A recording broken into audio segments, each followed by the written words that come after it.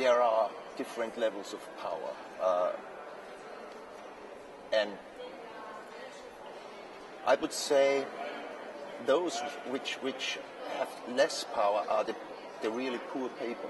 WWF recognized in, in, in its work that uh, as a, a, a very uh, great, um, a, a, big uh, proportion of all its projects are directly linked to the question of poverty. So, and it sounds easy, of course, integrate the poorest few. But how to do that? And sometimes it's a terminus which sounds nice in the written papers.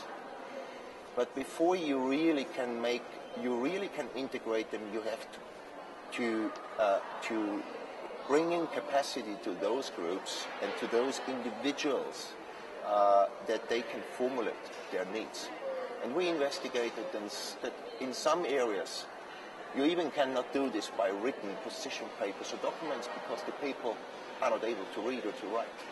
So, and, and I think that is really crucial that uh, capacity building for civil society organizations who represent really the, the poorest of the poor uh, and their direct, uh, their direct demands on land use, on wise land use, which give them certain rights, uh, is, is, is really important.